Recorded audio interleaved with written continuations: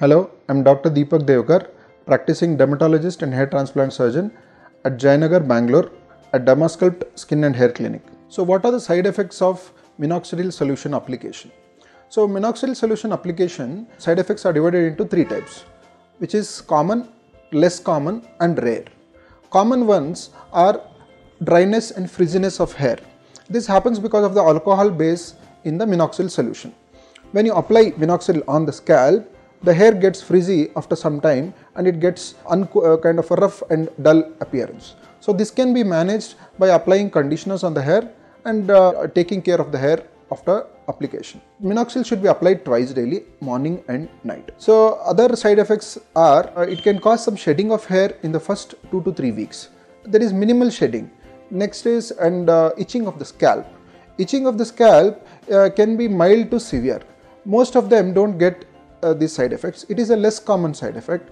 The itching can be severe or it can be mild. Some people get itching only on application for 1 to 2 few seconds. Some of them may get itching and it may get worse. If the itching continues, we'll have to consult a doctor. If it is minimal itching, if it is manageable, if you, over a period of weeks, you may get used to it. So uh, you can continue with the solution. The rare side effects are allergy to minoxidil solution.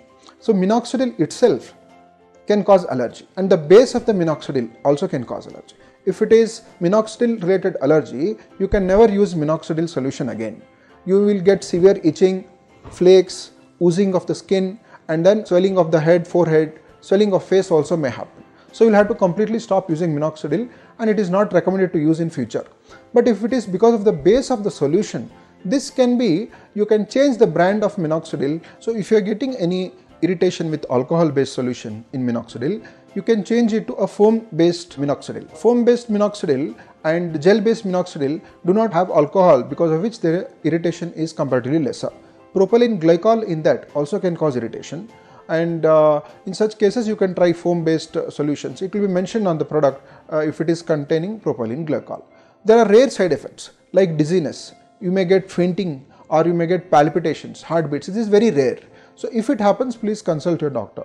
When you are using minoxidil solution, please check for the content on the box.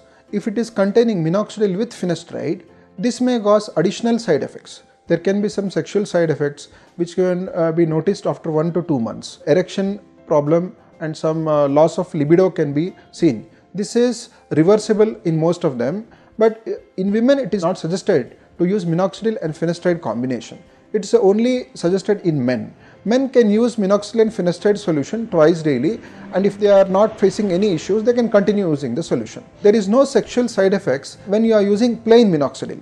It is only going to increase the blood circulation. It works through a potassium channel opener which improves the blood circulation to the scalp and improves the hair growth. It is in no way connected to a sexual or hormonal issues. So you can use safely uh, without fear of any sexual side effects. Plain minoxidil is comfort is safe to use.